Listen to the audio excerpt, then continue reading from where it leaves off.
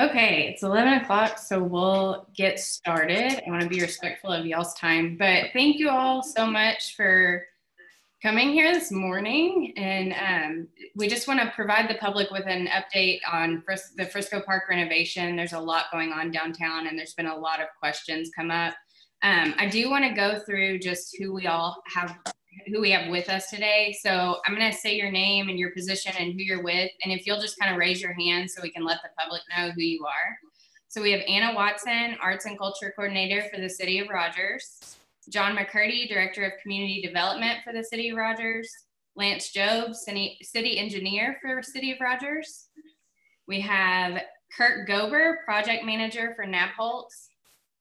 We have representatives from Ross Barney Architects, Ryan Giblin, Senior Project Manager, Carol Ross Barney, Design Principal, Misa Inoue, Principal Landscape Architect, and then we have David Davis, who's a business owner in downtown Rogers. Okay, so if I'm gonna hand it over to John, if you wanna take it from here. Okay, yeah, I thought I'd just kind of talk a little bit about um, what's going on big picture and, and how did we get here. Um, the, the, the Frisco Park renovation has been a uh, sort of on the books for a long time now. Uh, it, at least it's captured in the downtown Rogers master plan that was published, what, about six years ago or so. And that, that plan was the result of a fairly extensive public input um, session. I mean, series of public in input sessions involving a lot of stakeholders and partners. Uh, it was uh, involved both the cities of Lowell and Rogers, but coming from those strategic plans and then a more detailed plan for downtown Rogers.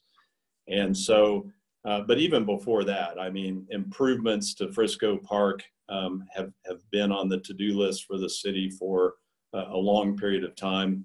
Um, and so about three years ago, uh, we decided uh, at the city level, uh, Mayor Hines decided that it was time to start really thinking about how to make that happen. And so uh, at, at, that point, we began kind of just conceptual work on what Frisco Park might become. And then through that process, decided to approach the Walton Family Foundation for a design grant. And so the, the Walton Family Foundation has uh, what they call the Design Excellence Program. And what that program does is it funds national, international level design firms uh, to, to come to the region and take on projects. Um, one, of the, one of the criteria for that, for that program is that the national design firm uh, is expected to work in such a way that that increases local capacity for design. So it ends up being a partnership with local designers and, and others to make things happen. And so we, we talked about whether to approach uh, the Frisco Park project as a design excellence award, and we did that. And so the way that works is the foundation maintains a list of approved uh, design firms, architects firms, and, and others uh, around the around the country, and then there's a panel that whittles that down to a handful of, of design firms that would be well suited for the project that we're looking at. And so we ended up uh, forming a committee and interviewed uh, quite a few design firms in one way or another, but we ended up actually visiting the sites of, of some of the work that, that some of these firms had done and basically got it down to three national firms that were uh, each very fine, excellent uh, design firms that had done major projects around the country and around the world. And Ross Barney was one of the three finalists. Um, and I'll tell you the thing that that really clearly put them over the edge and led to us selecting Carol Ross Barney and her team is the fact that RBA has a has a history and a, and a reputation for really getting to know the area that they're working in. One of our concerns was that we would hire an out of state, out of town firm that would come and, and just kind of bring their idea of what worked really well in some other place and stick it down in the middle of downtown Rogers. Um, but from the very beginning, Ross Barney emphasized that they would come to town and, and do a, a, a lot of work to understand the history of Rogers, the history of that site, and then spend a lot of time talking to Rogers citizens and stakeholders and understanding what the people of Rogers uh, needed for that location and what would make sense for Rogers. And, and all the, you know, all the firms paid some lip service to that idea, but nobody emphasized it to the extent that Ross Barney did.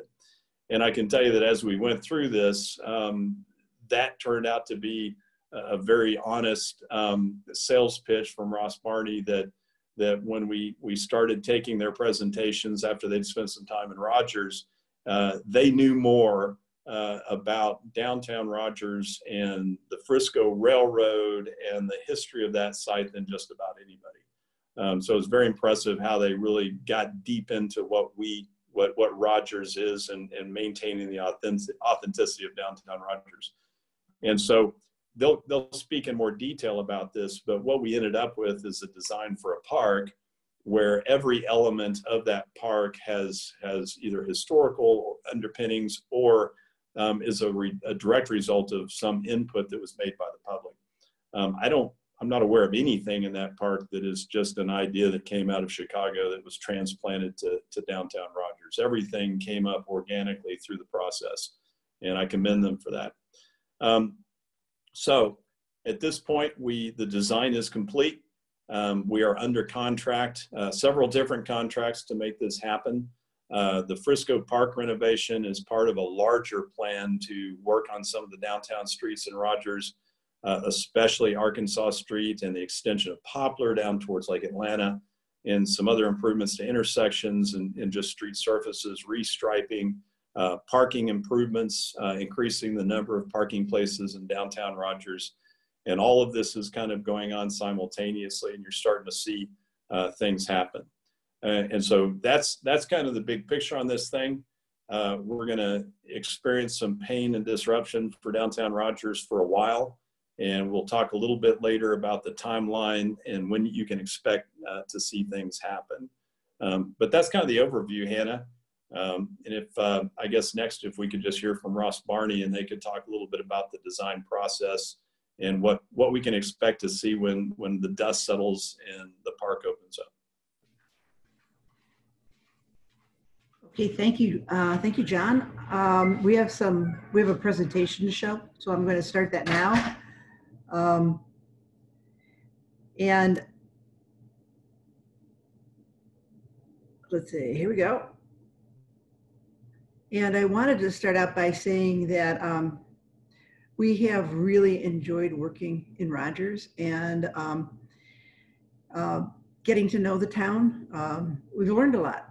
We've learned we've been there when it's been um, 100 and what was it six or seven degrees? And we've been there when it's been snowing. And i think that um, our understanding is really important to our design method and our design process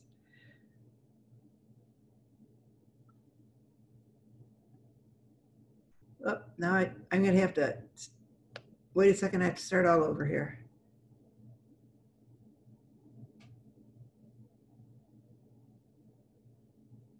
Okay, that's better. Um, our process is so important to us. Can you hear me now? We can hear you, Carol, but we can't see your screen. Okay, hang on. I'm still working on it.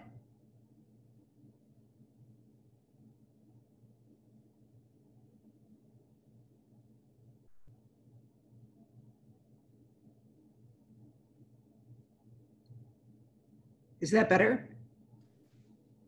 Yes, ma'am. Okay. I can see it now. Okay, there we go.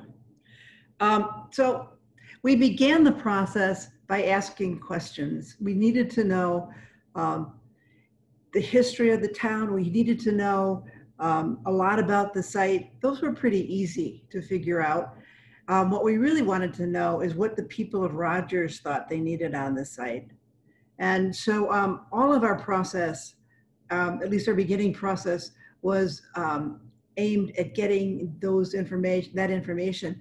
And we knew that people participated in, um, in community life in different ways. So we tried to reach out a few different ways. Some of you, I hope, um, were at our community open house on the weekend of May 10th. Um, we met for actually in the market building for a full weekend. And it gave us a chance to have people drop in while they visited the market, while they visited downtown, and give us ideas about what they wanted Frisco Park to be. Um, it's true Frisco Park has been there for a long time, but its identity wasn't really that strong. So this gave people an opportunity to tell us what they thought the biggest opportunities were. We also um, asked them through this exercise where people could Post-it notes on a big map of, of Rogers, their thoughts about nearby places. Uh, we let them put down where they lived. So it gave us an idea of the community and what people thought. Um, in addition to our outward anybody can be there, community meetings, you know, stop and chat. We also had uh, a series of focus groups, uh, largely with merchants and downtown leaders. And this was important because we also wanted to be really concerned about the economic growth and underpinnings of um, downtown Rogers. One of the things that's been most exciting for us working on this project is the um, excitement and the new businesses that have happened in Rogers, even since we've been coming to town. Um, we knew that everybody, that didn't include everybody, so we also used some um, methods that we've been using more and more to um, survey people at large. And we um, surveyed them both in paper form. You could pick up a survey in um, some of the local restaurants, or you could go online and answer our survey uh, via your cell phone or your computer. And here's a sampling of some of the questions and some of the answers that um, we got from the general public survey. And um, while none of these, not, there's not one question that we said, oh, wow, this is, this is it. This is, you know, the answer to what we need to know. But what it did do is it gave us a better picture of how people use the park now and how they wanted to use the park. You can see, for example, question 13, what would you like to see? And then question 18, what type of seasons do you want to visit the park? And while um, there are no questions that were hugely surprising, what this did is it gave us a much finer tuned idea of what we could suggest and what we couldn't suggest for this park. Because the one piece that um, that wasn't determined, and that was probably the most important, is the program. In other words, what we were going to put in the park. Um, we started out with a pretty wide range of activities. This um, graphic shows some of the things we thought about. And through this process, through the public meetings, the, um, the focus groups, and through the survey, we came down to a basic program. And you can see those program elements in this slide. Um, these were the things that people felt were most important to accommodate. The other thing, though, that we wanted to um, spend a little time on um, were values that we, we that we um, that we felt from the survey, and we were really one thing that people said to us every single time we talk just about is this is Rogers. This isn't Bentonville. This isn't Springdale. Uh, it's not Fayetteville. This is Rogers. And this has to be authentically Rogers. And um, the design, it needs to interpret authentic Rogers. And so um, the values were equally important to the function. And then finally, the, one of the really big form givers, we just love the history of this park. Um, it is in the original plat of Rogers. Uh, it's not called a park, it's called a, a rail siding, um, but it's there. And it's been transformed by the activities that's happened in Rogers and by its economic and historic growth. This got to be one of our favorite photos. You can see the sort of stray pig that's in the foreground. Um, but what it told us is this site has an important history and the future has to recognize that history.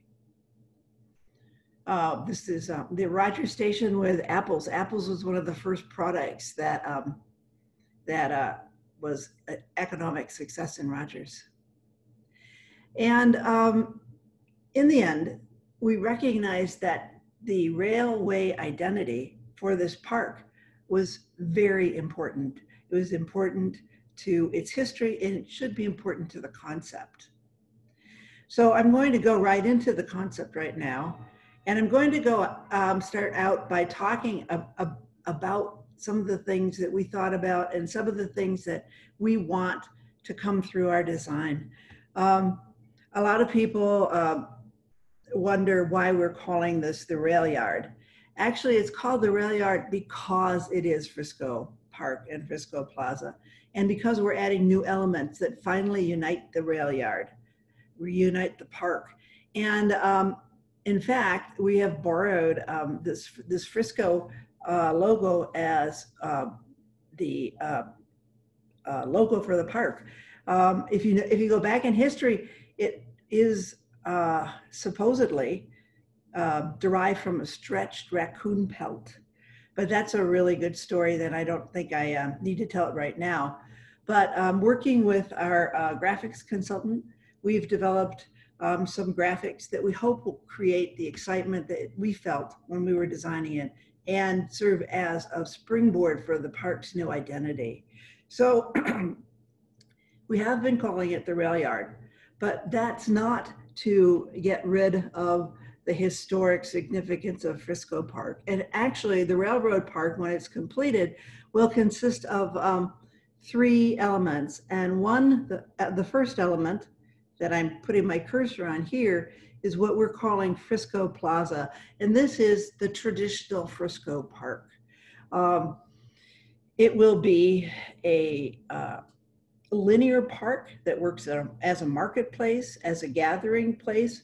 In fact, one of our inspirations for this park is a famous painting called Spit and Whittle that's in the city hall.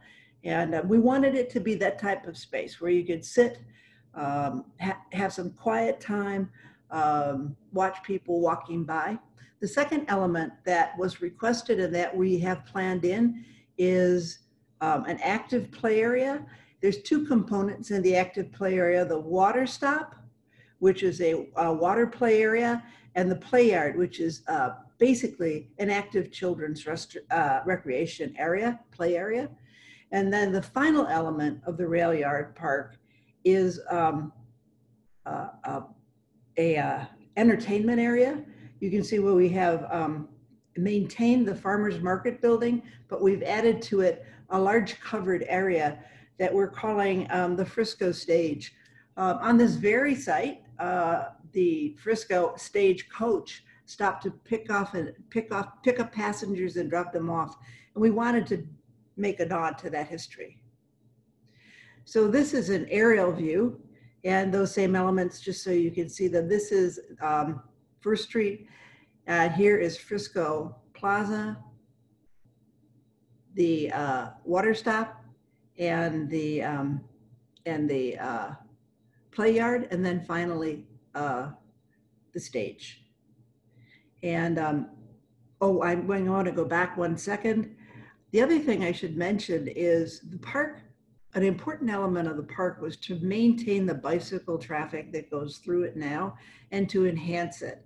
Um, this park is part of um, the Northwest Arkansas Greenway, and we wanted to um, use that uh, symbiotically. So this would be a stopping spot on the Greenway, but that um, you could also uh, recreationally bike to this and, and access the park that way. So right now, um, the, the bike path will come along the railroad right of way as my cursor shows here, and then we'll switch over to Arkansas. And so this view is taken right in the middle of the park. And um, you can see that, you can see the bikers that would be using it. You can see people over at the water stop. I want to talk a little bit about Frisco Plaza particularly. We, every single space, except maybe the play yard, we wanted to be as multi-use as we possibly can make it. And so we have uh, maintained um, some spaces for pop-up um, activities you can see here. We've recalled a round table and a plaza that is not where the uh, where the band shell is right now. Um, the space is um, meant to be programmed, um, but we wanted to have a lot of different types of space to be programmed. And then um, in the linear portion of our park, we can look, we think we see things like markets taking place, picnics taking place. One thing that we um, wanted to do is create almost a communal um, dining table for Rogers. In this little sketch, you can see the view from, um, if you were standing at the dollar store, for example. This is a really important entry visually into Rogers and into downtown Rogers particularly. We didn't want to lose that quality. We wanted to enhance it. If you walked a little farther and looked back, this would be your view. One of the things we were really hard on, we wanted to have um, flexibility, but we also wanted to have places where people could sit with their family um, we kept on, during design, we called it a community, community table. And the park will contain these picnic tables that you see here. And they'll, they'll be easy to re, be rearranged for different events. Um, what we've done actually is we've detailed them almost like um, train cars where they're on rollers and on tracks. And then uh, this is looking back uh, towards the water stop and towards um, um, First Street, but you can see the, um, the, the, the, what we hope will become the new symbol of Rogers in a sculpture form where people can sit and again, look, watch, have uh, quiet time. This um, photoreal rendering uh, shows what it might look like during a market.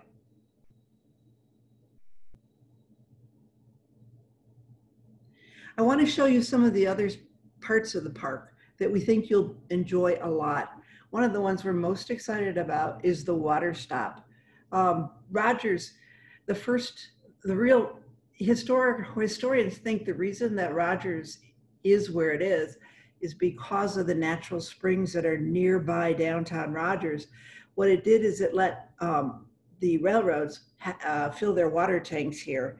And so originally Rogers was a water stop. And we've used that as the theme for our, um, our play yard. I think it also probably is a reflection of the um, some of the summer days that we spent in Rogers and looking at the success of activities in this like this around Northwest Arkansas. But we wanted Rogers Water Park to be unique. Um, so when you're there, um, or when your children are there, if, if you're not into getting wet, um, basically the water uh, players will interact with three um, water towers, water stops. And uh, we have different water effects, um, different types of showers, different types of spouts that the kids will be able to play with under these.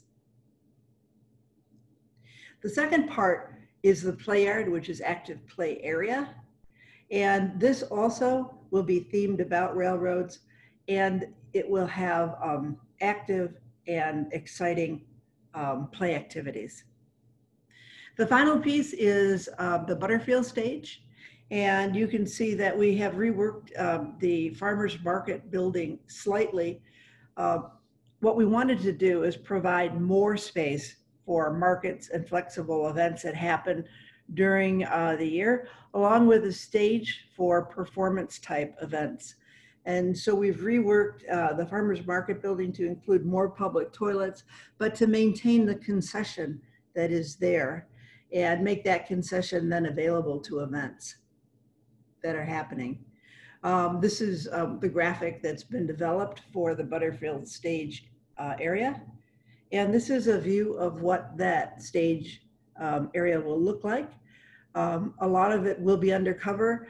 Uh, two reasons. One is we wanted to um, make it multi-purpose so that you could use it in um, in rain or drizzle. But the other reason is we recognize that shade is at a huge premium during the summer in Rogers. And so we wanted to create a large usable public space. And um, that's my little tour through the park. I, would ask my colleagues to join in and uh, if you have anything to add about, about the park or about um, our design. No, thanks, Carol. I mean, I would just like to reiterate, you know, how exciting it's been working with everyone. It's really felt like a true collaborative process. And um, personally, I've been really happy to be part of it. And I hope you guys um, enjoy the park as much as we enjoyed um, putting it together.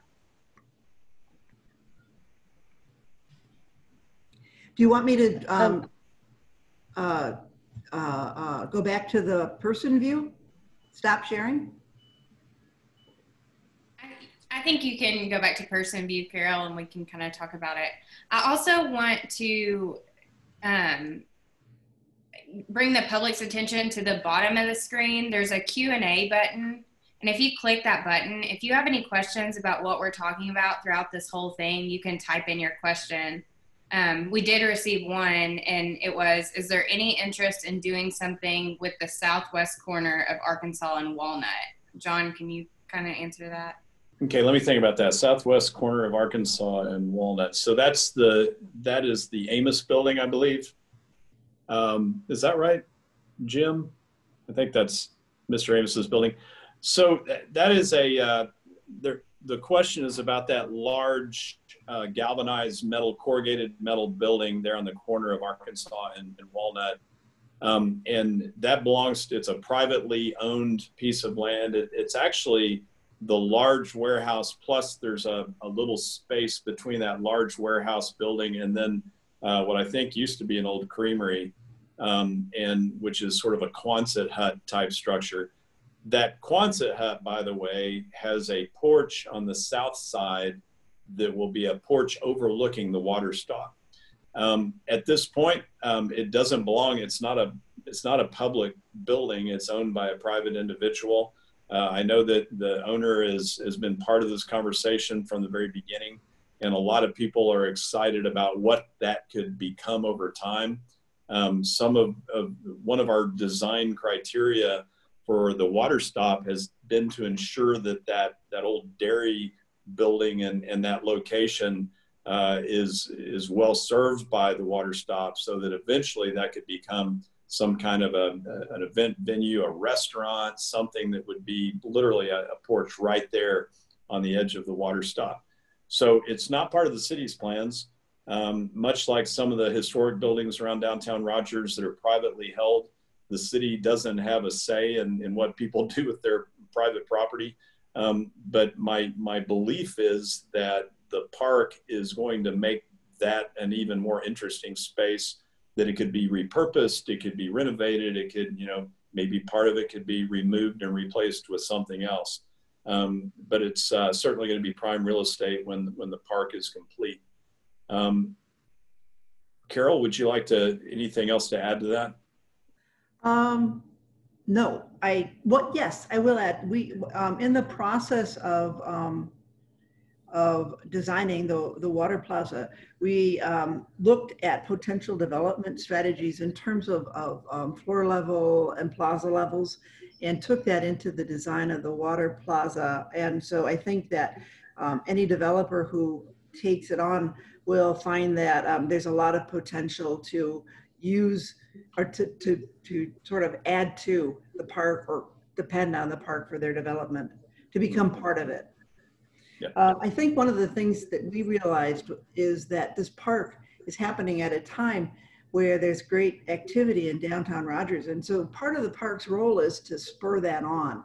And so we designed it so that it can accommodate um, some really nice facility on, on that on that site.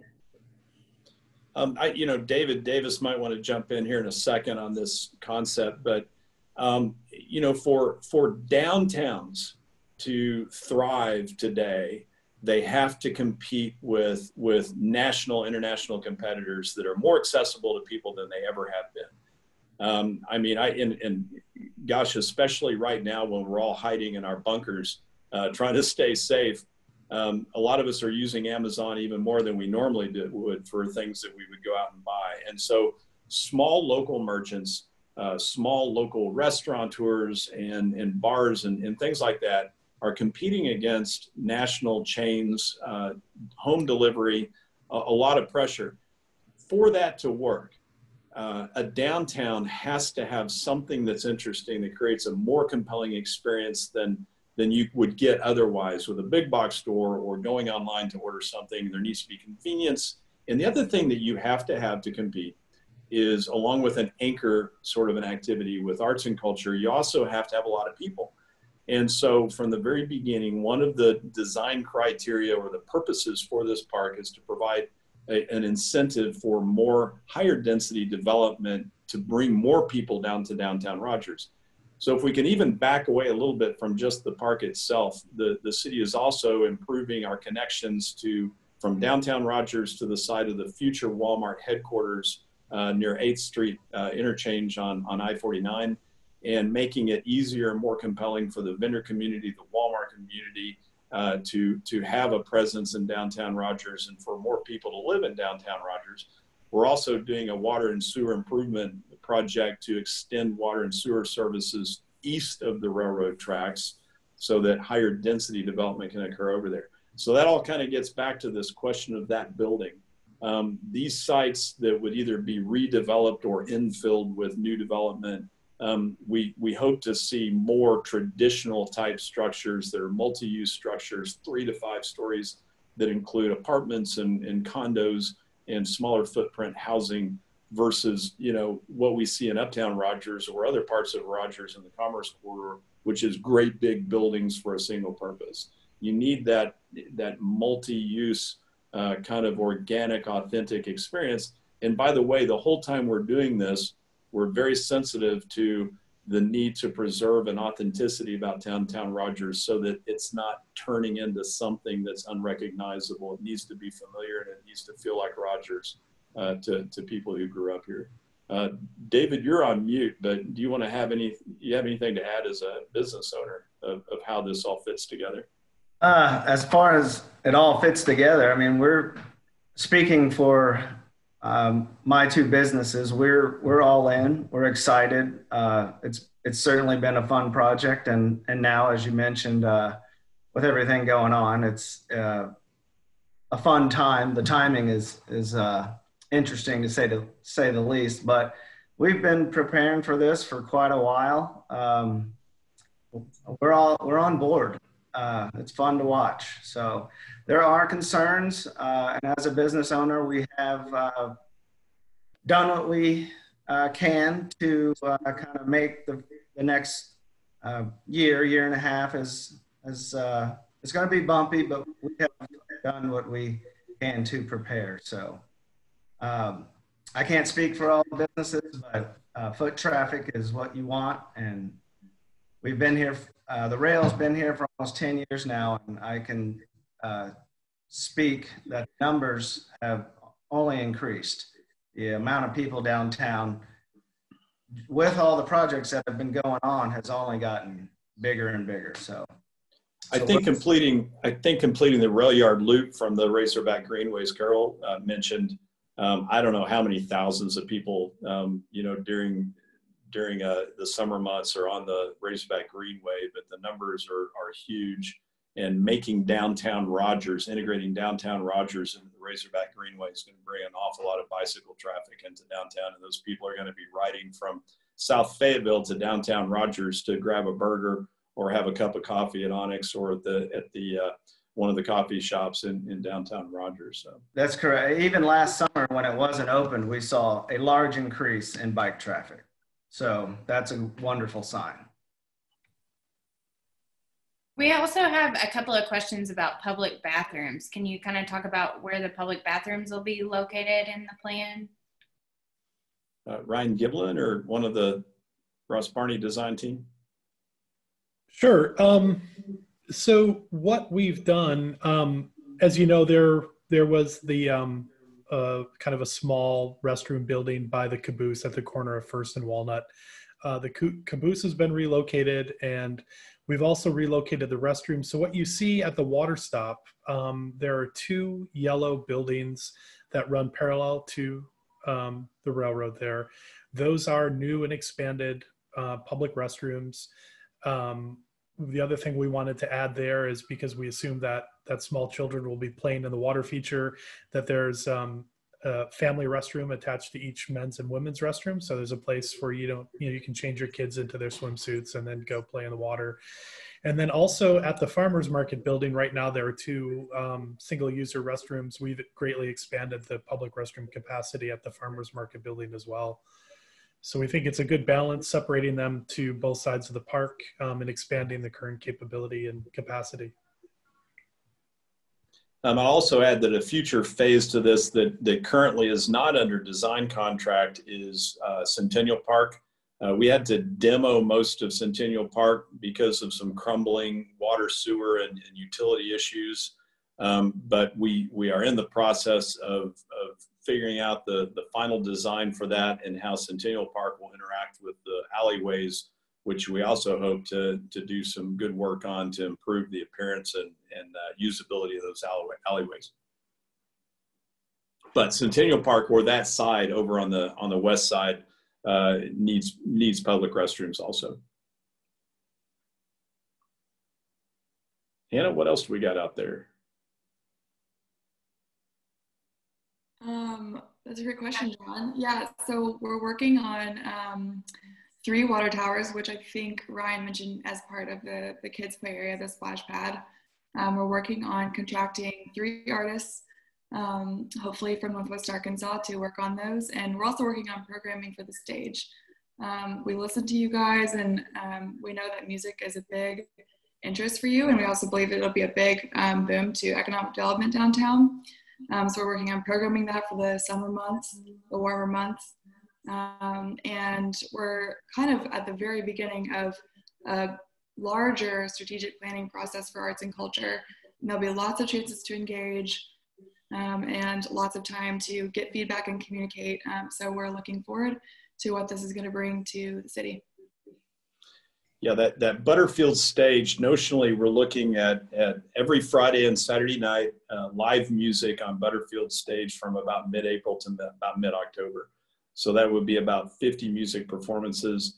And, you know, we see a, a niche that's really unser- underserved in Northwest Arkansas where we have national level acts coming through the AMP. And then we have folks that you would see, you know, at, at Levi's or, or someplace like that on the weekend. And, but yet there's, there's kind of this missing middle where um, the, the type of acts that you would see at George's Majestic that, and that's kind of it. And then the, maybe the Meteor in Bentonville, but Rogers doesn't have that. But yet we have such great bones for live music and a very high demand for live music that's been well documented over several projects. And so a big part of this prod of this park project was that the current Frisco stage was practically unusable for a number of reasons, the, not the least of which is that whoever's on that stage is staring right into the setting sun and there's nowhere really to stand and enjoy anything without closing down streets. So by reorienting that over to where the Butterfield stage is at the current farmers market, it opens us up for a venue that can that can very comfortably seat about 800 people. But then if we close the street with bollards and extend it towards the play area, we could have as many as 1,500 or so uh, for a music festival. So, you know, think uh, what we could do as, as part of the Roots Festival or Fresh Grass or other, you know, things like that that we can have in downtown.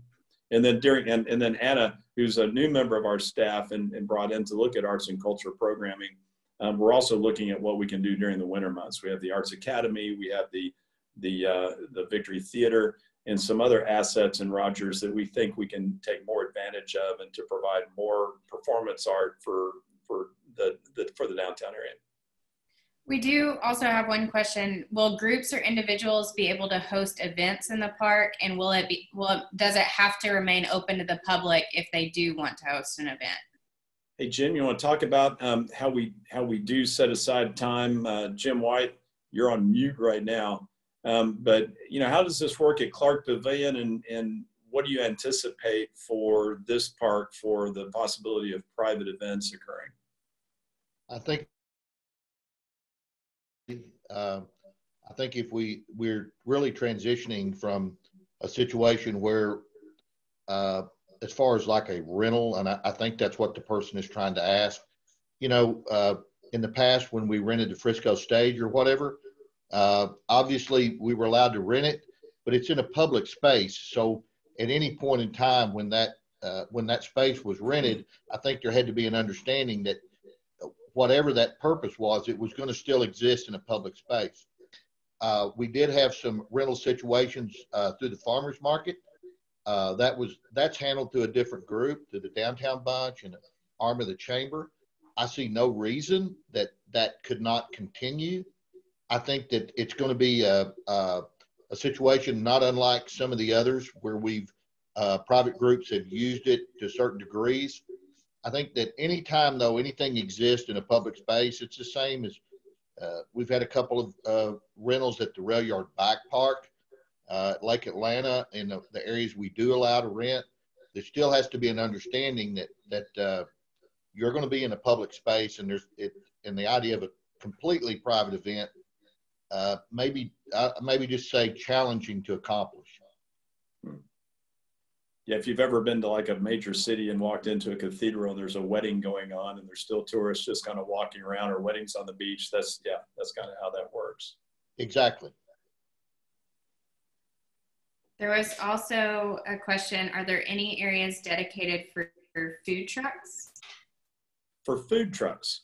Um, the the multi-purpose space where Frisco Park is, what we're calling Frisco Plaza, but the Frisco Park part of this um, is very flexible.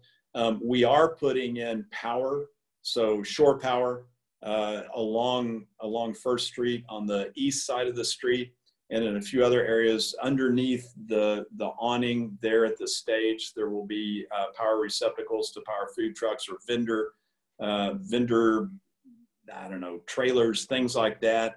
And so we're not creating a food truck plaza per se um, but we will be accommodating to things like that. In fact, you know, just on a practical matter, one of the things we we're working with uh, the the the self named hot dog lady right now to find alternate space for her to have the hot dog stand downtown. But we're we're sensitive to the need to be able to provide that stuff. The other thing I'll mention is that the current butterfly park is a, is getting finished right now as a multimodal hub. That's where we've moved the caboose down to the south there by where the Frisco um, station used to be before it was demolished.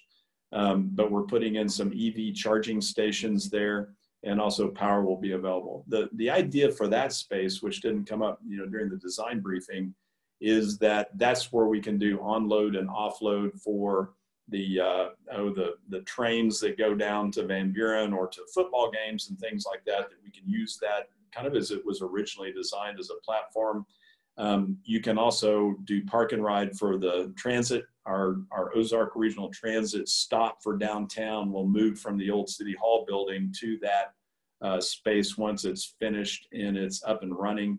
And so that ends up being a multimodal hub that will support events and train events and bicyclists.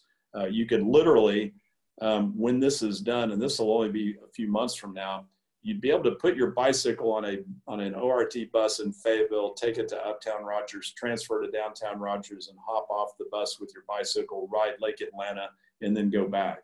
And so that's pretty exciting how we're, we're upping our transit game and including downtown Rogers as a hub for the regional transit network. There's also a question about how they how much the capacity of the stage can handle. How many people can be present for a concert? I think we talked about that. You know, in in speaking to some of the programming people in the region, I think it's reasonable to expect that on a Friday, Saturday night, we could have three or four hundred people. You know, down in that area, and that'll be very comfortable. But for more of a music festival, up to about eighteen hundred. Is that Misa? Is that right, Misa? I think that you were really kind of looking at those numbers at one point. Um, that we're looking at, at comfortably around 1800 if we expand further out to the north. Correct, yes. And, and of course, and that depends on the seating arrangement and then what type of seats will you use or is it um, half seated and half standing? But yes, that was the approximate calculations that we've had when expanded to the north. But if you look at a good, solid, typical Friday night at George's in Fayetteville, you know, they're looking at about 400 people or so that would come and see something and that'll be very comfortable in this space and, and people would be under under the shade area or slightly overflowing at the butterfield stage jim did you have something to add about parks well i just wanted john touched on it but there's been a lot of talk uh, recently and especially in the on our cycling community about this rail yard loop that we're so close to to closing the the piece. But the rail yard park, as it will exist, is going to be really the centerpiece of that loop. That is going to be the destination loop from the Greenway. But one of the things that uh, that I guess from a parks perspective that we are so excited about in our department is the fact that with all this connection, we're talking about within a few blocks of the rail yard park proper and Centennial Plaza and the things that Carol have talked about. Within a few blocks of that, we have the bike park, we have Maple Grove Park, we have the museum, we have the Rogers Activity Center a few blocks away in Forester Park. A few blocks to the south is Veterans Park. And then, of course, Lake Atlanta accessible by trail from the park. These, these are the things that we're excited about the park is it's going to be it's going to allow all of these things to be pulled together and not to mention if you if you branch out just a little further from that all of the educational facilities that are within walking distance of these parks so i think that uh, i think just the idea uh, that ross barney put together by pulling all these things together uh, i think it's just going to be so exciting that it's just not just this downtown few acres that we're all excited about it's all those things that are going to be just, I mean, within a stone's throw. So, from a parks perspective, we're trying to look at it as a much broader thing of pulling all of these things together. And of course, ultimately, as John mentioned, bringing the Greenway to downtown Rogers. But thank you, Hannah. Yes. You're welcome. And we're, we're getting a lot of questions on parking and restriping if if we want to kind of touch on that too. Okay. Yeah, I can I can kind of lead that off, and Lance Jobe, our city engineer, can can weigh in also. Um, first of all, just with parking is an issue, and it's it's going to become more of an issue as as downtown Rogers becomes more successful, and so and and I think we've seen this. Um, you know, first of all, with the rail and Parkside Public and Iron Horse, as those businesses became more and more successful, they were using more and more parking uh, that that spills over, right? I mean, um, I don't know how many parking places are in front of Parkside Public, but it's probably about four or five. And if you have, you know, 20 people in there, that's a lot of cars that are spilling out over into in front of other people's businesses. And now that Onyx has come and they're they're very successful in bringing a lot more people downtown, um, that's going to put pressure on other businesses that rely on people pulling in right in front of their store. Um, so the total number of parking places was one issue, but the fact that as as other businesses come into downtown Rogers and they're successful, those those that success puts pressure on their neighbors. Um, the other really big issue that we're dealing with is the fact that we've got a couple of dedicated parking lots that are being demolished as part of this pro- project and so we needed to relocate those those parking places just in terms of total numbers. Um, so one of the things that we did was uh, the work that we are completing now in the Butterfly Park area, which will add I I don't know like I think about 80 or so parking places. But then we're also restriping parking places along streets. And so if you've seen uh, what has happened north of Walnut on First Street, we've already created some on-street parking along that road and then as we rebuild Arkansas Street from basically from Highway 12 to the roundabout that's at Arkansas and Oak, we'll be putting on-street parking on along that whole way. We're improving and paving Poplar Street to its dead end east and then connecting that dead end by with a hard surface trail down to Lake Atlanta. And then we're restriping streets all over town. And so in out of this whole effort, just looking at the the the Frisco Park area, that area that goes basically from Cherry to Walnut and Arkansas Street over to First, within that footprint of the Frisco Park project, we're increasing the total number of parking places by a couple of hundred. Um, and that's mostly on-street parking. Uh, also, a little bit of reconfiguration of parking just off of First Street at the very southern edge of the park. Um, then within the whole downtown area, by by fixing the width of lanes that right now that a standard travel lane is 10 feet wide and some of those travel lanes are like 15 16 feet wide and we you know we have five lanes in some areas where we really need three lanes and, and reconfiguring some of the existing streets and putting parking on, we're going to get several hundred more parking places within the downtown area. But people will have to walk a little bit further sometimes as as other businesses like are able to come in and, and be and be big draws and which is what we want. I mean we want successful businesses to come into town and, and to be successful and to require parking. Um, and and as we develop and mature as a city um, at some point we'll be having conversations about how to manage that parking because one of the one of the issues that occurs is that if the prime parking places are being used up by workers or or you know people that just park a car there and stay there all the time then how do you manage your way through that um, i'll also add that we have two locations identified for future parking garages and so when we get to the point where we simply don't have enough quantity of parking places we do have sites located that are adjacent to downtown immediate you know within the downtown area where we can construct parking garages and add several hundred parking spots at both of those locations. Um, so parking is a big concern. And, and I'll finally just say that the more people that use bicycles or transit, those are people that are not parking their cars on the street. And so as including the rail yard loop within, you know, to the greenway within this plan, and then adding the bus stop adding a place to be able to get on and off the train for you know any potential future passenger service that might connect the downtown areas then we're we're investing in a future that is is a little bit more dominated by mass transit um, lance anything to add to that I, I mean, I think you covered the general side uh, very well. I, I, would just add a couple of specifics. The uh, mobility hub area, they are trying to get that striped over the next two days, and hopefully that parking will be open by Monday.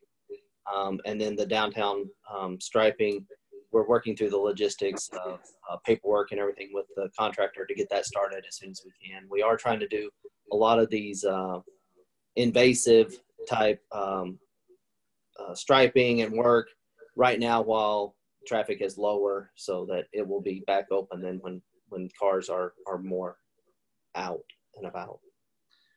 You know the the thing with the thing with parking is if let's say that I like to go to Hawkmoth and you know and and I like to be able to drive down Walnut, turn right into Hawkmoth and and park right there in front. As downtown Rogers grows and becomes more and more successful, it's going to be harder and harder for me to for me to be able to do that. And so over time, I'm going to have to walk a couple of blocks at some point if I want to get to Hawkmoth. Um, we did we did a parking survey last year during Frisco Fest, which is the most intense parking event in downtown Rogers of the year. And even at the height of Frisco Fest, we only used about 70, 67% of the parking places, the striped parking places in downtown Rogers.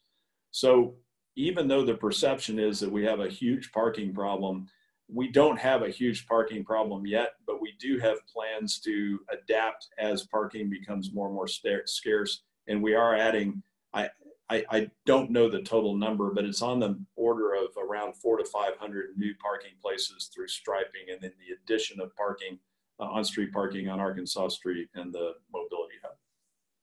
Um, and then in the immediate term during construction where we are going to be tearing stuff up, um, then then Nabholz and Kirk Gobler Gober is on the line here with us.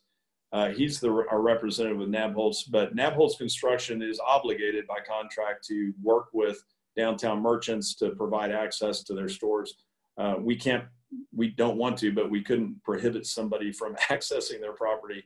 So throughout the project, there will be ways to continue to access your property. And I know that for, you know, for the rail and some of the other places, we've added mid-block access to be able to get to the sidewalk to make sure that it's not difficult to be able to access our merchants. Going off of parking, John, is there any plan for additional handicap parking towards the merchant area? Yes, there is. And, and one of the things that actually will reduce the total number of on-street parking places on, for example, First Street is the addition of ADA compliant parking places. And so right now we've only got a couple of ADA parking places in downtown Rogers and they're off street. So we're going to be adding some ADA slots um, on each block so that there will be ADA um, accessible parking places. One of the things that we got a lot in our feedback was that we can't assume somebody can walk two or three blocks to get, you know, to, to go to grab a grab lunch or something. And that made us go back and do a full survey of ADA compliance for parking throughout the downtown area. So we will bring that into compliance as part of this project. And will the sidewalks downtown be increased, including Second Street North and neighborhood sidewalks? Second Street North. Um, as a second phase to our downtown striping project, we will be making some hardscape improvements. So yes, I, I don't know specifically on Second Street, but I know that we're looking at some of the areas, for example, around the Second and Elm and, and Third and Elm and that area, and around the old model laundry area where we have some very problematic sidewalks. We're looking at ways to improve those. Um, any other questions? There is one thing that hasn't come up that I'd like to bring up. Um, a couple of things. Uh, there were some questions raised uh, on social media about safety in the railroad, and some people were saying, you know, what, why would you do this right there by the railroad tracks? I just want to address that a little bit. Um, one thing to note is that Frisco Park, and before that, I mean, Carol Ross, Carol, Carol brought up the idea of the Spitting and Whittling Club, and and you know, I, I had talked to her about my my old friend Hugh Dryden and and his buddies that would sit on the bench and they whittle and and chew tobacco and stuff like that back in the day. Um, that area has always just been a wide open field, basically, with a railroad running through it. And so, one thing that um, one thing that we've been very concerned about is how to make this safe. And so, we will have safety uh, safety facilities as part of this project, barriers and fences and pedestrian controls, automobile controls that we've never had. And so you won't be able to, for example, be at Frisco Plaza and run across to the playground. The playground will be safe. Um, we've looked at, at safety studies around the country of interactions between pedestrians and railroads and the fact that right now when people walk around staring at a cell phone it's easy to just wander onto railroad tracks and we're putting uh, chicanes in the way so that you can't just wander onto the tracks you're going to have to look up you're going to have to open a gate and do things like that so we're, we're doing some things to make the park safer when it's done than it has been in the past um, and then finally one other thing that has been asked is the farmers market the farmers market temporarily will be relocated to what I think of as the library, but it's the old post office building across the hall from Haas Hall Academy or across the street. And so the farmers market will continue to operate once we start to do things like spend time in the same space with other humans. But once we're able to get out of our bunkers and take our masks off and go out and go to a farmer's market again, we will be prepared to do that. And, and then, you know, just I, finally, I want to say that we're all really excited about this. Um, we've done a lot of, of research and work to make sure that we don't become like that other city, you know, where we're just paying a lot of money to import things that don't fit necessarily. We, we see this as something that's enhancing what we already have, uh, that does a better job of providing the services and, and experiences that the people of downtown Rogers have just sort of over time evolved to enjoy. Um, we're very sensitive to things like, you know, the, the, the Frisco heritage. Um, a lot of people have been concerned that it's not called Frisco Park. Well, the overall project is the rail yard area, the rail yard district. The Frisco's still there. And, and what you are starting to see with the banners in downtown is this Frisco logo, which will continue throughout the loop. And we're going to see that all over this park. So I think it's always going to be Frisco Park. It's whatever people call it but within that, we're we're I think really enhancing the history of the town and bringing it to life. So I applaud the work that Ross Barney's done, um, and I think it's just really exciting. And I when it opens, uh, when we cut that ribbon, I'm excited to have live music and festivals planned and and public art and events that are going to be a lot of fun and and just make downtown Rogers an even better place to live than it already is. So thanks to everybody that participated in this. And, and Hannah, do you have any parting words or? Um, on the timeline of construction, just really quick. Oh, Yes. Okay. Lance Jobe, could you just talk through the timeline real quick? Well, essentially, the uh, the overall timeline is it's planned to be done by the end of the year. So, I mean, the whole park. Uh, there will be work on Arkansas Street that's going to continue. Um, it's it's gonna right now we don't have a contractor on board for that part of it, but um, we're expecting an 18 month time frame on that part of the project. So the park itself should be done in, around the end of the year. I mean, depending on weather, it could slip into January. Yeah, and, and as Lance mentioned, there are other projects that will touch downtown Rogers that are going to be going on for about the next three or four years. Uh, Poplar Street's going to be renovated to provide better bicycle and pedestrian access to the schools that go down Poplar. Um, the Arkansas Street project will continue uh, to the north and eventually roughly follow the railroad tracks to about where Sam's Wholesale Club is, which is very close to the new Walmart headquarters to make it easier for people to call on Walmart, but, but live and work in downtown Rogers. Uh, and then, you know, we mentioned a little bit about these other downtown Rogers streetscape improvements, resurfacing projects, restriping. So it's going to be going on, but the park itself uh, is if the weather's good and we don't run into any unforeseen uh, snags, we're looking at that to be done by the end of the year. Um, there's a couple more questions that we didn't get to, but I want to be respectful of y'all's time. So I'm going to end the questions there and we'll post a follow up on our social media. So if anybody didn't get a question answered, if they just want to post that in the comments, we'll make sure that we, we get all of those answered. Um, but does anyone else have anything to add?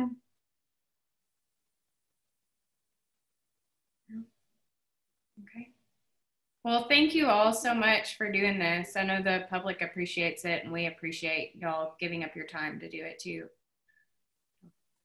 Right. Thank you, Hanna. Everybody Thank stay you. away from people. Thank you.